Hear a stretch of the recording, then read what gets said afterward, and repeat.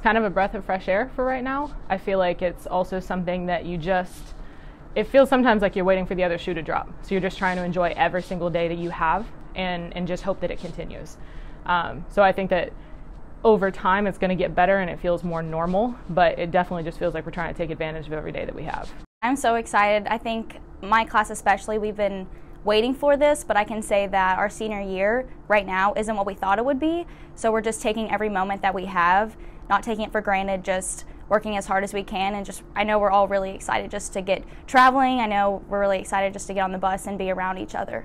It's really weird. My class is the only class that's experienced a regular season and now we're seniors and we've only had one. So we feel kind of behind a little bit, but I think our, our team has done a really good job of adjusting and I think it was rough the first semester that we got sent home but ever since then, like I can really tell that we've been growing, and we're really excited to have a full season. I think I learned that they are definitely competitors last year, but the hard part was they just didn't know each other as well. And I think that over the last six months, that's been the main focus, is trying to get them away from the quarantine mindset and not seeing each other, being in isolation, when we really didn't have many road trips last year. So taking advantage of the time that we do have together, especially in the fall and now, to spend a little bit more time together to get to know each other on more than just the surface level. Um, kind of find out what makes everybody tick, and then let that culture and let that cohesion sort of grow together over the first few weeks.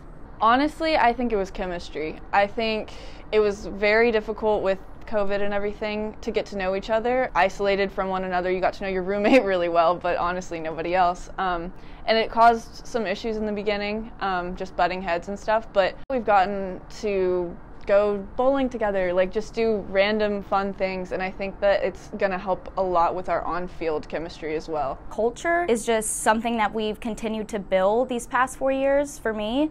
So I think that's something that has become really far along and I think is the best prepared us for this season. So last year with hitting, it was, I think we were very timid. So we would get plenty of runners on, but we would never be able to push them across the plate. And I think that just comes down to being able to handle pressure in intense moments. I think the difference between last year and this year at this point is that confidence has risen. And now we understand what it takes, what it's going to be like. Um, obviously, we're adding about 20 more games than what we had last year. So we have more of an opportunity for growth, more of an opportunity to learn about each other. So hitting is only going to keep getting better the more at bats we get, the more teams that we see, and the more opponents we face that are going to challenge us. We go and crush the ball. I think the main focus is playing together for each other. Um, with CentreTerm just happening, a lot of us, myself included, were gone. And so I haven't seen them in two months. Um, and all of our seniors were gone, actually. So our juniors really had to step up. Um, but I think taking that field together again, finally being together again, and just remembering to play for each other, I think that's going to help us the most? I think just not thinking too much about the game of softball. We all know how to play softball. We played almost our whole lives, so just not putting pressure on ourselves and just going out there and taking advantage of the fact that we get to be on a softball field, we get to be around each other and play a full um, seven innings.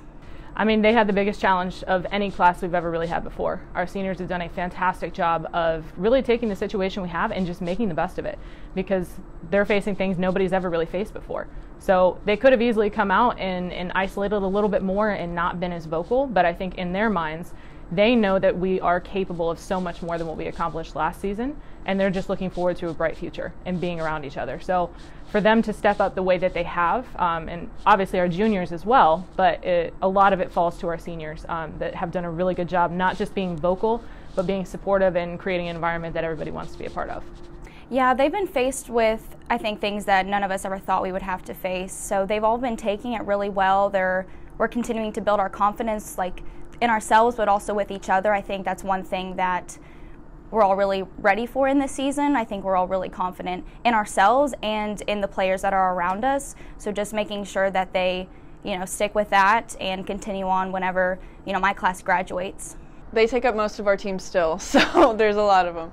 I think the thing I learned most from their class is how to be teammates with differences. I know in my experience, I've usually gravitated towards people who are similar to me, play like me, but obviously there's 12 of them. They all take it differently, they all do different things. And especially from like a leadership standpoint as a senior i've had to learn a lot about how to talk to certain people give them advice give them critiques in a way that they will respond to and just how to interact with each other better i think that they do that really well